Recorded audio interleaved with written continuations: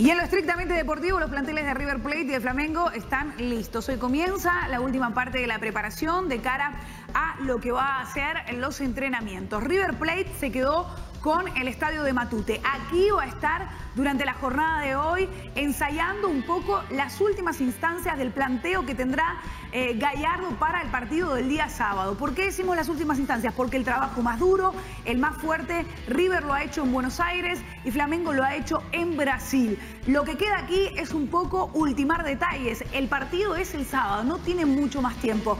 Matute va a ser entonces el lugar donde hoy por la mañana va a estar River Plate que aspira a una segunda Copa Libertadores de manera consecutiva. Por el otro lado está la Videna.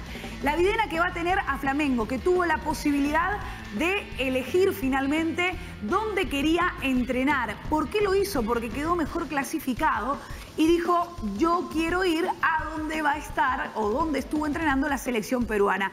Estos son los dos escenarios que, como decíamos, en realidad lo que sirven es para eh, utilizar un poquito de juego, no desgastar tanto a em, los jugadores y mañana va a ser el reconocimiento del Estadio Monumental.